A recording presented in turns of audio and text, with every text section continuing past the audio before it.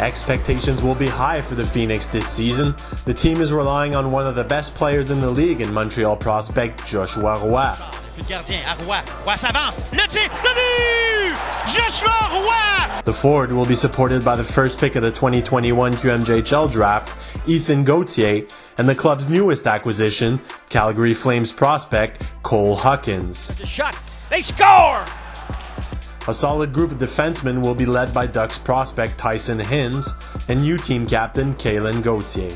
Let's not forget about offensive defenseman David Spacek, who was drafted by the Minnesota Wild last July. Fans in Drummondville will have an exciting team to watch this season. Lamoureux qui vient frapper solidement derrière le filet. Gritty giant Maverick Lamoureux, a first round pick of the Coyotes in the last NHL draft, will be a force once he returns to the blue line. But he's not the only NHL prospect on defense, as the Volts also went out and acquired Red Wings prospect Oscar Plandowski from the Islanders. On offense, small forward Justin Cote should make life difficult for opposing teams once he comes back from offseason surgery. As for gifted goal scorer Tyler Peddle, he'll look to build on a solid rookie campaign in the Q. Over in Victoriaville, the goaltending duo could be scary.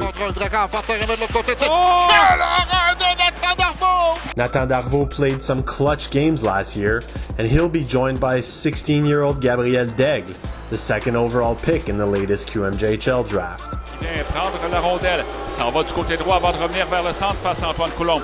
La fête. Coulombe étire la jambière, mais Pellerin qui marque. The Tigs offense should once again go through team captain Maxime Pellerin.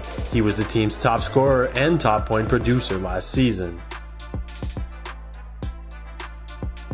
We finish with the defending President Cup champions. The Q's oldest franchise is kicking off a brand new cycle, but its defense will still be very solid.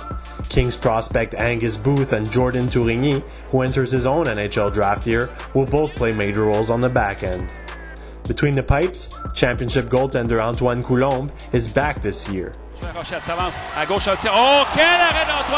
Several other key players from the Cup winning squad are also returning, including new team captain William Veillette, forwards Daniel Agostino and Lorenzo Canonica, as well as D-man Loris Rafanomezantsoa.